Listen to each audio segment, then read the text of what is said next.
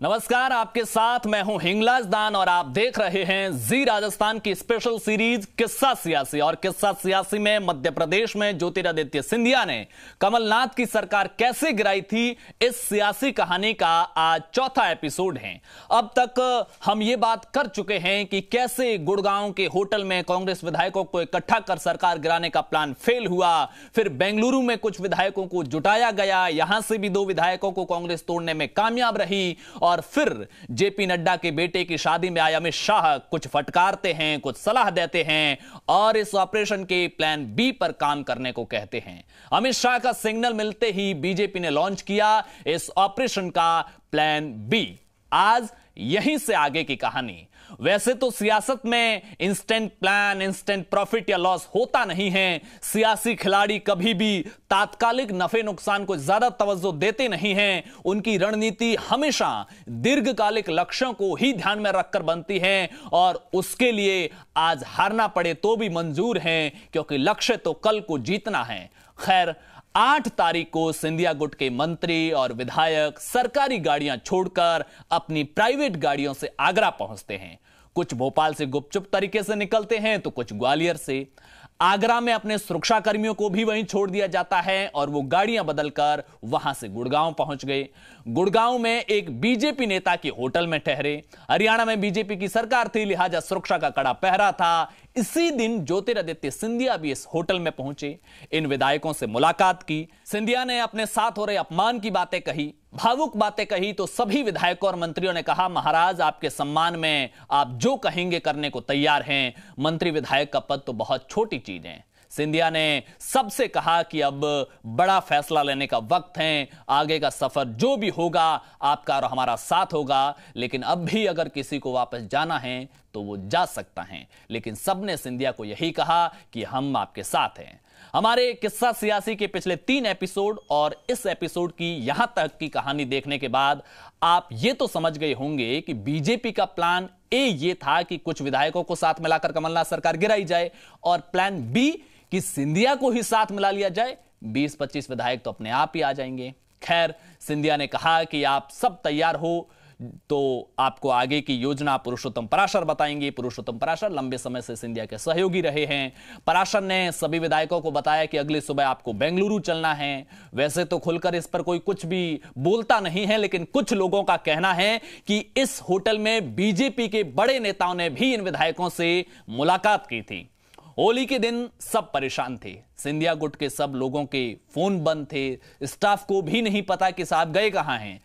दिग्विजय ने सिंधिया को फ़ोन किया। सिंधिया दिल्ली में थे। स्टाफ ने फ़ोन उठाया। कहा, साहब को बुखार है, आराम कर रहे हैं। दिग्विजय ने विवेक तनखा को फ़ोन किया। कहा, सिंधिया को कहो, एक बार बात तो कर लें।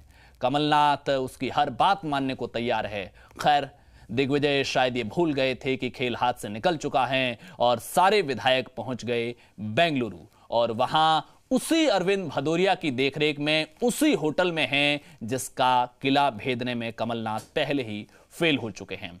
सब परेशान थे। कमलनाथ ने सोनिया गांधी से मुलाकात की। सोनिया गांधी ने कहा, भोपाल जाओ हालात संभालो। इधर सचिन पायलट और मिलिंद देवड़ा को सिंधिया को मनाने की ज़िम्मेदारी दी गई, लेकिन किसी का सिंधिया से कोई संपर्क नहीं हुआ। कमलनाथ होली के दिन ही भोपाल गए। तुरंत सारे मंत्रियों की बैठक बुलाई गई। बैठक में मंत्रियों ने अपने इस्तीफे ऑफ़र किए, लेकिन स्वीकार हुए नहीं। इधर दिल्ली में धर्मेंद्र प्रधान के घर, बीजेपी नेताओं की बैठक हुई। फ़ोन पर बेंगलुरु से अरविंद भदौरिया को जोड़ा गया और भदौरिया को कहा गया कि अब कोई भी विधायक वापस नहीं जाना चाहिए। मैं जब भी एमपी के सियासी संग्राम के बारे में सोचता हूँ तो भदौरिया को दाद देता हूँ। वो कोई अमित शाह या मोदी तो था नहीं, जिसकी बात कोई भी मान ले। ऐसे हालात में कितना मुश्किल होता है ठंडे दिमाग से इतने नेताओं को संभालना, उनमें भरोसा बनाना, उनके आत्मविश्वास को बनाए रखना, लेकिन भदौरिया इसमें कामयाब हुए। लेकिन कोई ये नहीं समझ पा रहा था कि सिंधिया करेंगे क्या? बीजेपी में शामिल होंगे या अपने विधायकों को बेंगलुरु में इकट्ठा कर कांग्रेस से ही अपनी बात मनवाएँगे?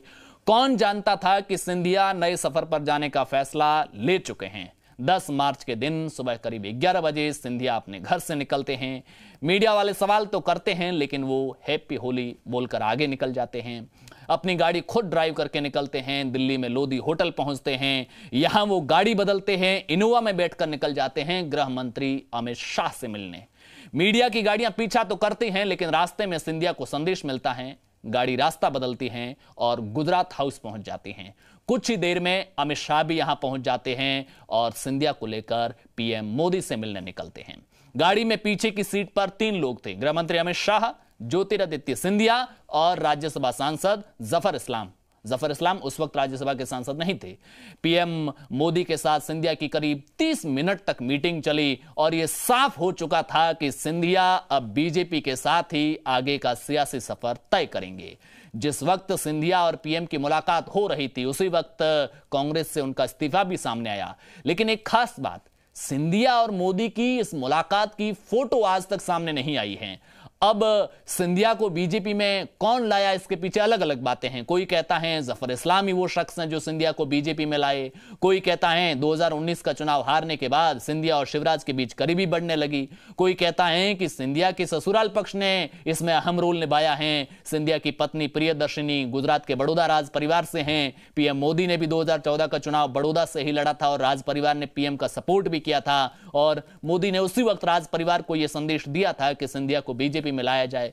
कोई कहता है कि अरुण जेटली अगर कुछ वक्त तक और ज़िंदा रहते तो वो सिंधिया को बीजेपी में लाकर ही रहते। खैर, जो भी हो 10 मार्च 2020 के दिन यह साफ़ हो गया कि सिंधिया अब बीजेपी के साथ हो चले हैं। इधर भोपाल में बैठे मुख्यमंत्री कमलनाथ और कांग्रेस की पूरी टीम इस कोशिश में लगी थी कि सिंधिया तो चले गए, लेकिन बेंगलुरु में बैठे उन विधायकों से अगर संपर्क हो तो उनको किसी भी तरह से मनाकर वापस लाया जाए, लेकिन कोई संपर्क नहीं हो पाया। इधर सिंधिया का कांग्रेस से इस्तीफा आया, उधर सारे विधायकों ने अपनी विधायकी से भी इस्तीफा दे दिया। हालाँकि एक बात ज़रूर रोचक थी कि ये सारे इस्तीफे विधानसभा अध्यक्ष को देने उनके घर बीजेपी के नेता नरोत्तम मिश्रा गए थे। अब यहाँ राजनीति की एक बात को समझना ज़रूरी है। ऐसे मौके जब भी आते हैं तो दो लोगों का रोल बहुत महत्वपूर्ण हो जाता है। एक, विधानसभा के अध्यक्ष और दूसरे, राज्यपाल। ये दोनों संवैधानिक पद हैं, किसी पार्टी के नहीं होते हैं, लेकिन अनुभवों की सच्चाई ये है कि स्पीकर सत्ता पक्ष के मुफीद फैसले लेता है और राज्यपाल केंद्र सरकार के कंफर्ट जोन के हिसाब से फैसले लेता है। तो स्पीकर ने भी ये इस्तीफे स्वीकार नहीं किए। कहा कि विधायकों को खुद आकर इस्तीफे देने होंगे। क्या पता ये इस्तीफे उन्होंने खुद ही लिखे हैं या दबाव में उनसे किसी ने ज़बरदस्ती लिखवाए हैं। दस तारीख की शाम को ही बीजेपी ने विधायक दल की बैठक बुलाई। जैसे ही सब विधायक बैठक में पहुँचे, सबको कहा गया है कि आपके लिए गाड़ियाँ तैयार हैं, हमें कुछ वक्त के लिए सुरक्षित जगह पर चलना है। और आला कमान का भी यही आदेश है। दरअसल, बीजेपी भी ये जानती थी कि कमलनाथ उनके विधायकों को तोड़ने की तैयारी में हैं। कोई नुकसान हो, उससे पहले अपने विधायकों को मध्य प्रदेश से बाहर ले चलें। इधर 11 तारीख को सिंधिया ने बीजेपी की सदस्यता ली और इसी दिन शाम को बीजेपी ने सिंधिया का नाम मध्य प्रदेश से राज्यसभा के लिए ऐलान कर दिया। यह तय हुआ कि अगले दिन, यानी कि 12 मार्च को वो एमपी आएँगे और 13 को अपना नामांकन करेंगे। इधर 12 तारीख की सुबह कांग्रेस ने अपने बाकी विधायकों को राजस्थान के जयपुर भेज दिया और इन्हें जयपुर के सबसे महँगे होटलों में ठहराया गया, जिनका एक दिन का किराया 10 से पंद्रह हज़ार रुपए होता था। जब भी किसी राज्य में इस तरह के राजनीतिक हालात होते हैं तो राज्यपाल की भूमिका बेहद महत्वपूर्ण होती है। एमपी के राज्यपाल उस वक्त लालजी टंडन थे। वो यूपी के लखनऊ के रहने वाले थे तो होली मनाने के लिए वो लखनऊ चले गए और सियासी संकट के हालात होने के बावजूद वापस नहीं आए। अपने पहले से तय टाइम के हिसाब से ही आए। इधर 12 तारीख की सुबह जीतू पटवारी बेंगलुरु गए, क्योंकि जो विधायक बेंगलुरु में गए, उनमें एक विधायक मनोज चौधरी भी था, जो जीतू पटवारी का मेरा भाई था। मनोज की परिवार से हमेशा फ़ोन पर बात होती थी और उसी नंबर की लोकेशन ट्रेस की गई और जीतू पटवारी मनोज के पिता को लेकर वहाँ पहुँच गए। एक और बात, जीतू और मनोज के रिश्ते के बारे में बीजेपी नेताओं को भी पता था, इसलिए वो भी अलर्ट थे। शुरुआत में बीजेपी वालों ने मनोज को कांग्रेस का भेजा हुआ आदमी माना। जैसे ही होटल में जीतू और मनोज के पिता घुसे तो मनोज एक स्विमिंग पूल में दिखा। जीतू पटवारी को देखते ही मनोज बोले, अरे दादा, आप यहाँ कैसे? कुछ देर बात हुई, तभी बीजेपी के लोगों को इसका पता चल गया। कर्नाटक में बीजेपी की सरकार थी तो बीजेपी के लोग पुलिस के साथ होटल पहुँच गए। मनोज को होटल के अंदर ले गए। जीतू पटवारी को पुलिस ने घेर लिया। हंगामा हुआ तो पुलिस कांग्रेस के लोगों को एक मिनी बस में भरकर पुलिस थाने ले गई। लेकिन इस बात से मनोज की बीजेपी के लोगों की नज़र में इज़्ज़त बढ़ गई। क्योंकि अगर मनोज कांग्रेस का भेजा हुआ आदमी होता तो जीतू पटवारी के साथ भाग सकता था, लेकिन नहीं भागा। इसी वजह से बाद में मनोज को भी कांग्रेस के बाकी विधायकों के गुट में ही रखा गया।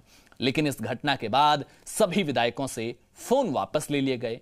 होटल की सुरक्षा बढ़ा दी गई और होटल में ही एक टेलीफोन बूथ बना लिया गया। साथ ही सभी विधायकों को यह भी बता दिया गया कि जो भी बात होगी वो रिकॉर्ड होगी। इसी बीच दो विधायक बिसाहूलाल और एंदल सिंह कसाना भी वापस बीजेपी के साथ आकर मिल गए। आ, कुल मिलाकर अब तक विधायकों की संख्या 22 हो गई थी और यह संख्या कमलनाथ सरकार गिराने के लिए काफ़ी थी। कहानी यहीं खत्म नहीं होती है। इसके बाद भी बेंगलुरु में कई बार विधायकों को भगाने की कोशिश होती है। कई बार एयरपोर्ट से रास्ते बदले जाते हैं तो कई बार जीतू पटवारी जैसे नेताओं की कथित धुनाई भी होती है। और आखिरकार कैसे कमलनाथ हिम्मत हार गए और इस्तीफा दे दिया। ये तमाम बातें किस्सा सियासी के अगले एपिसोड में।